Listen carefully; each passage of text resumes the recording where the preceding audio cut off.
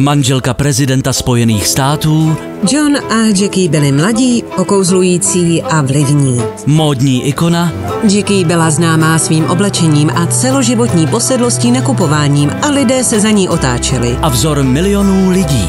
Kamkoliv přišla, ji lidé vítali a obdivovali jako elegantní milovanou první dámu. Nenechte si ujít příběh inspirativní osobnosti. Jacqueline Kennedy, portrét ikonické první dámy. Ve středu ve 22 hodin na CS Mystery.